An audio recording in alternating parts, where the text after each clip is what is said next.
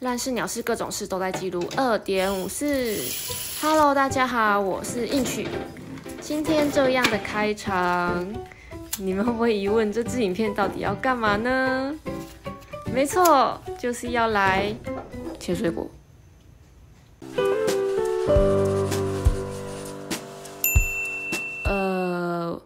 为我最近去饮料店当打工仔，他们会需要处理一些水果。那我在切的时候，就有同事觉得哇，怎么这么厉害？然后连老板也这样讲。你知道我内心就 OS 干还好吧，我切的就一般速度啊。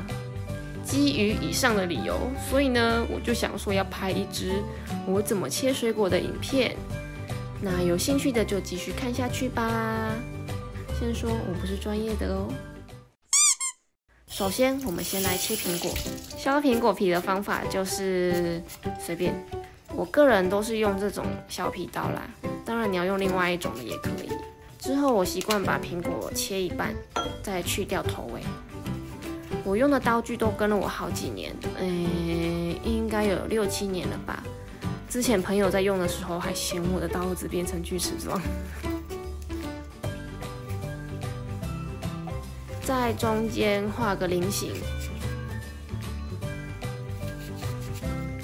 然后向上的一挖，这样漂亮的苹果就产生啦。拔蜡的话，先洗干净，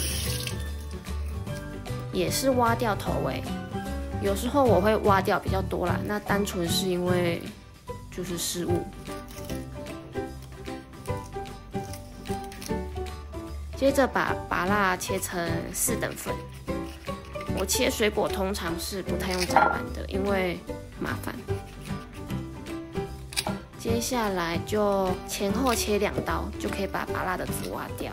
那有时候上面会有一些残留，再用刀子挖干净就可以了。那有时候其实你只要切一刀，然后再往上，就是往上挑起来，其实扒拉的籽就可以完美的落地，超简单吧？凤梨也是先去头去尾，然后再横躺着切。这种凤梨切法，我今天是第一次尝试了。为了这支影片，我可是特地拿出了我珍藏已久的刀具，我超怕被它给割到，还好没事。呃，那用这个切法，真的要用力一点的刀子才可以。如果是常常要切凤梨的人，其实可以买个凤梨刀，因为真的超爽，凤梨刀超利的。我们饮料店有一支。但是我就是在切的时候就很怕一个不注意，手指头就不见了。其实切水果就是多切就会了，不急的话慢慢切是可以啦，反正总是能切好的，对吧？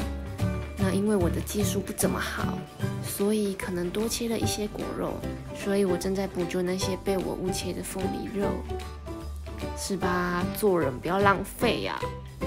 今天的影片就到这边结束，喜欢就帮我按赞、订阅、分享，那我们就下次再见了，拜拜。